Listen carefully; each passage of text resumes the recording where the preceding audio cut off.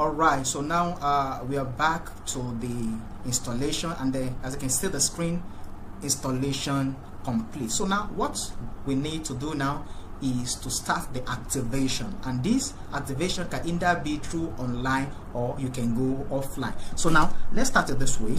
Let me cancel this. And then what you see my uh, desktop background now you can see that we have Intuit QuickBook so we can open this now to start our activation. So but remember I can go offline once it's opened. So now uh, let me let's wait for the for the QuickBook.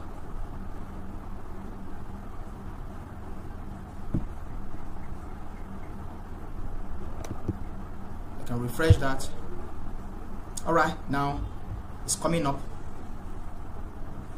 and once we have the first interface then I'll go offline in order to activate the code.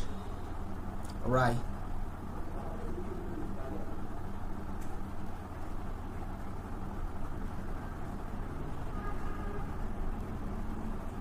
So you just have to stay calm when okay here we go.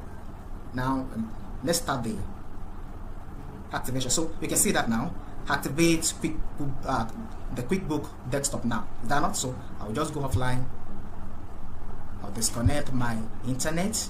You can do that either with internet or without internet. So now let me just begin the activation. So uh, use the following connection. As you can see that use my computer internet connection. So then I do not have a way to connect to the internet. Please give me more information on setting up an internet account. So now in some instance you may not connect to your internet.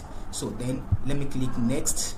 But now you can see that it's uh when you click done then we can now insert our activation code. So now the activation code here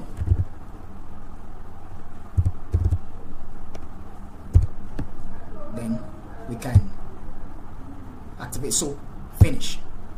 Now we're through with the activation.